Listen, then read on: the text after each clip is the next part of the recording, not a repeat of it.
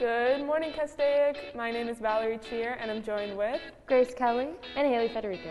We have a great show planned for you today, including some STN highlights, the topic of the week, and a debate club spotlight. So get ready because Good Morning Castaic starts right now.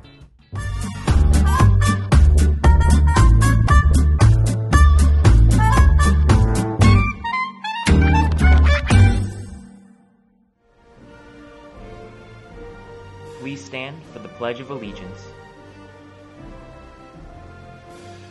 I pledge allegiance to the flag of the United States of America and to the republic for which it stands, one nation, under God, indivisible, with liberty and justice for all. Please be seated.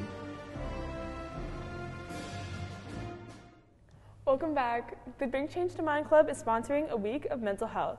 So we'd like to know what can schools do to make mental health more of a priority. Grace, what are your thoughts?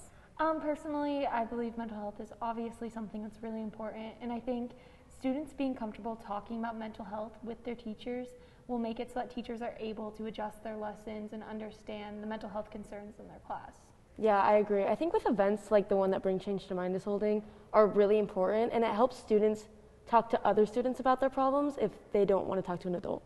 Yeah, totally. I think areas like the Zen Den, where uh, students can really focus on their mental health and relax, is key for schools to make sure their students are doing well. We also got a few comments on our Instagram. So, Olivia said, I think that all school staff should be educated on the basis of mental health. And if students are not having the best day, send them home or somewhere where they feel comfortable. And I totally agree. Um, I think that school staff should be super educated on mental health. Yeah, um, Kai commented, there's a ton of things that schools can do, but a few that personally stand out are not assigning much work and being understanding, understanding when students don't turn it in on time, rather than penalizing their grade for the time being. And I think that's what we were talking about with the teachers. Yeah, um, Triple Two, I am awesome said if student's feeling down, send them to the Zen Den or send them home. And really making time for students' mental health and uh, let us interact with our peers more. And I think that's totally um, keeping students' mental health in mind for schools. So let's send it over to PAC POV.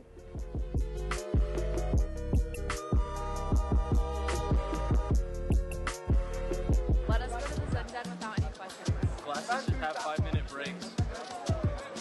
Let students listen to music because I feel like it just makes everything easier, like in general. I guess some way to help with mental health is for teachers to help guide students through the work so that they don't feel as isolated. Um, you know, help out with Zen Den a bit, you know, more volunteers coming around to make sure that the people there are accommodated. I'm pretty sure they are already, but, you know, a little help never hurts. I think we should have shorter school days because we get so much work that we don't understand and we need to like study so we do good on the test because they give us so much work. Thank you to all of those who participated in PAC POV. Do you feel passionate about discussing topics and debating them with others? Well, Shannon and Chris did a highlight on Debate Club, so let's see what it's all about. Should I write what's on the back of my paper? Like just copy down all of the topicality. Actually, no, I'm just gonna keep my notes out. Never. That's easier. Yeah. In hopes of teaching students about debate and speech, President Kylie Price started the Debate Club last year. I actually really like public speaking, which is kind of interesting. And then when I got to high school, obviously our school is new, so I thought that I should just start the club. Being the teacher advisor for Debate Club uh, involves a lot of the facilitating our weekly meetings through Zoom. Um, the students spend that time kind of sparring and preparing their cases, and I help to support them in their research skills and their communication skills. But it's really led by the students and their coaches, which is Justin Gill and Esther Sue. Uh, we owe a lot to them. They're volunteer coaches for us. Taught by ex-debaters, Castaic's debate coaches specialize in parliamentary, a partner event that has more of a spar-type format, and Lincoln Douglas debate, a single-person competition that includes cross-examination in a necessary case that was prepared for the debate beforehand. Although these are the two main debates members participate in, other categories such as speech, extemp, Congress, Model UN, and more are available to compete in as well. And depending on what type of debate you are partaking in, you get a different prep time. You have different rules, boundaries, uh, different topics, and overall, it's um, there's just so much to do. It's uh, really plentiful, and I feel like you can never get bored with it. My favorite thing to debate, mm, probably just the most controversial topics there is, because like whether it's political topics or like social topics, these are the ones that basically have, in my opinion, the most interesting debates where it's like, what is it, an even matched almost battle you could say between the two debaters, where both sides have like great points and great arguments, but none of them are like backing down. Well, I'm t- I have my question. Um, my favorite things about the club is the small little community that we have because we have like five people, um, not including any of our advisors or our coaches. But yeah, it's kind of small and it's really nice because we all got to know each other and the tournaments are also really fun. Those are my favorite parts. The club is still looking for new members, so feel free to join. They meet every Tuesday on Zoom. Email President Kylie Pierce for more information. If you're looking for a way to improve your speaking skills or a new and fun experience to add to your high school career, consider debate. Reporting for GMC, this is Shannon Smith. Thank you, Shannon and Chris, for the spotlight on the debate team. Now, let's take it over to Torn with What's Trending.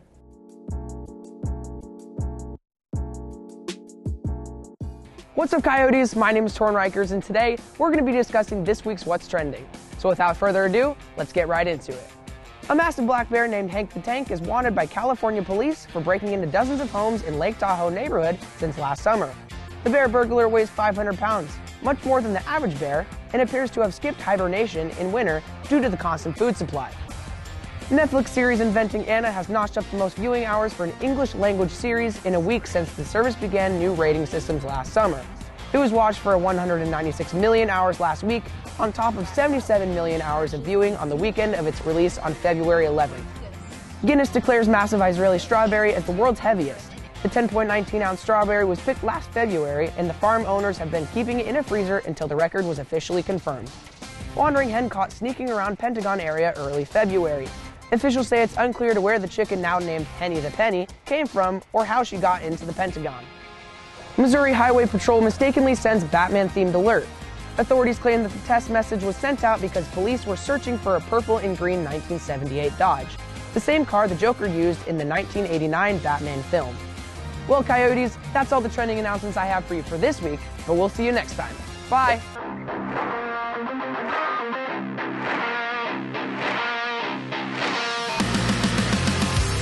From Castaic, California, this is GMC Sports, and I'm Xander Grable. Let's get into it. This Tuesday, Castaic Varsity Baseball has a game at home against Pacific Christian at 3:15. We hope to see you there in support of our Coyotes. On Wednesday, the Castaic lacrosse team will play Hart at home at 5 p.m. Make sure to get your tickets before they sell out. Also on Wednesday, our softball team has a game at home against Valencia at 3:15. Come out and watch them beat the Vikings. The boys volleyball team has a home game against Valencia at 3:30 on March 3rd. That wraps up this episode of GMC Sports, and I'm Xander Grable. During the STN convention, we were given eight hours to plan, shoot, and edit a short film with the prompt Don't Look Back and the prop of a metal key. Let's see what we came up with. Hi, Welcome to Crown Plaza. Your name? Sarah Thompson.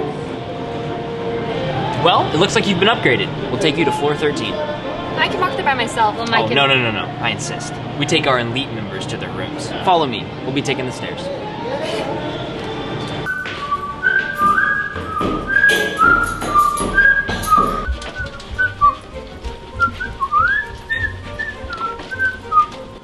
This is your room. If I hear you, I will come and unlock the door. Oh, and remember why you enjoy your time here? Don't look back. Unlock the door.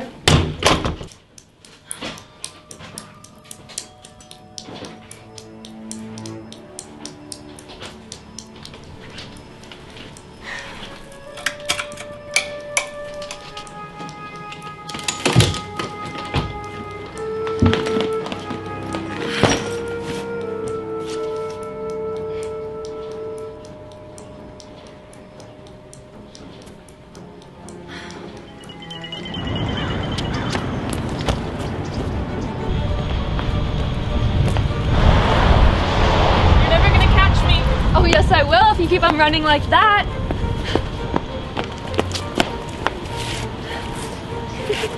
Mr. Buttons. He's my favorite. He's so cute. I know.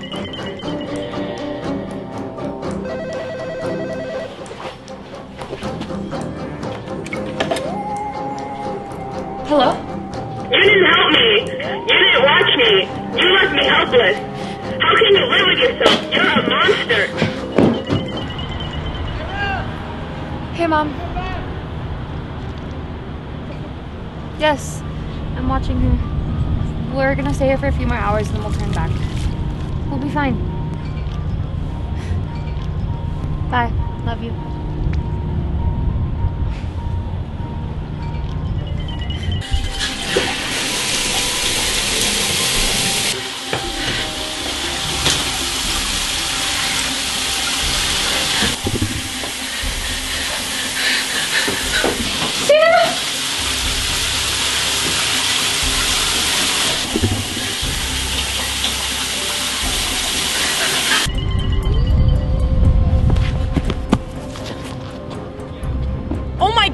Where are you?